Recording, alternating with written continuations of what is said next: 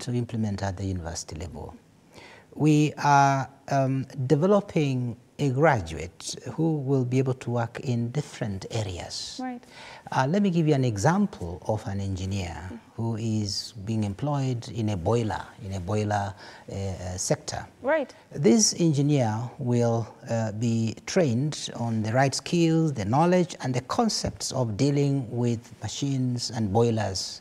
But there are boilers in the hotels. Right. There are boilers in, um, in, in, in manufacturing industries. There are boilers in all various big industries Right, that you even can think households. about, even in household. Right. So are you going to say that in, and when you're giving the concept, you think about all these things and bring them as, con, as, as, as knowledge that this person will apply in different situations. Mm-hmm. However, you may want this particular person who has been employed in um, an industry which is dealing with boilers to have specific knowledge of a specific brand.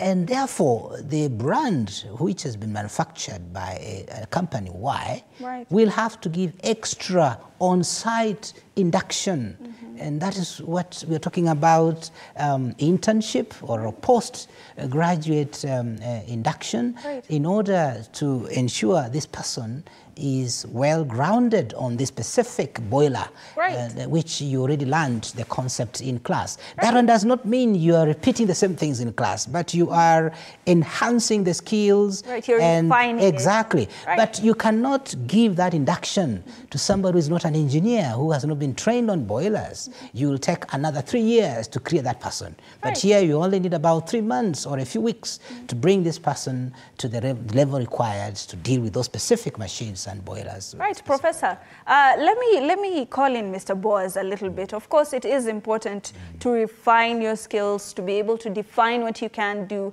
and to be able to build up on it. Mr. Boaz, I don't know if you had, you know, the sentiments of Mugendi, one of the Kenyans who was talking about IT, digitization, and of course, the professor talking about giving us a very practical example of why it's important, and it is a self initiative. It is a personal initiative to go and refine your skills. What are your sentiments on this? Uh, Hibak, uh, indeed, I, I, I had um, the, the gentleman whose sentiments uh, for me are about uh, what we consider to be the 21st century skills that will be required uh, by any country, any industry, and indeed uh, those skills needs to be developed. Indeed, uh, those become very, very basic skills that, uh, just like we used to talk about literacy and numeracy, uh, the digital world which has come, there are certain basic skills that one would require to have. But I want to say also that, uh, that there is a way in which, uh, as we uh, conceive the ideas of the kind of programs, the kind of trainings that we want to have, uh, it, it, may not necessarily really just fit uh, exactly like uh, we say the key and, uh, and, and the knob in a particular way, precise way. But it is something that when you train these people, they have the knowledge and the skills and the ability to adjust. In other words, they are flexible, they are versatile, they can cope and adjust to situations. The skills that they've acquired, the very basic skills, but uh, and particular career path, will be the one that will now make them to become uh, even creators more.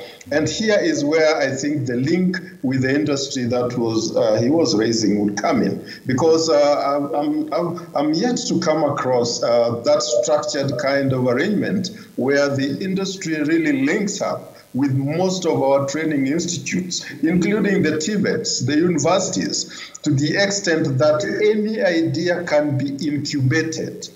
That an idea brought on board, even uh, uh, some further research can be done, so that that incubation can be done to the level that when it is right, then it can be replicated and even upscaled to the industrial level. I would be thinking that that could be some of the paths that we as a country may be thinking about. And two, it is also important that, uh, uh, I mean, as we grow, um, uh, the, because when you are growing the economy, definitely the citizens uh, themselves grow. The children are becoming the youth and all that.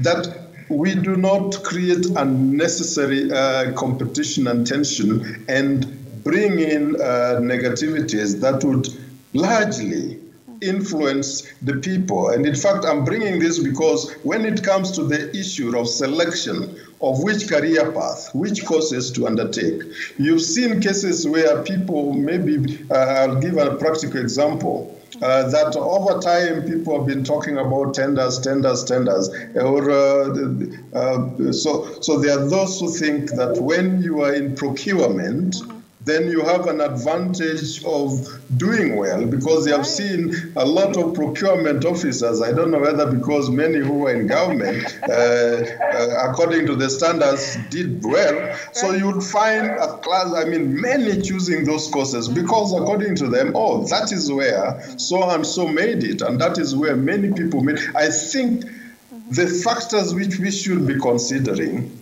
and enabling, because we should also be advising these young people, enabling them to go ahead.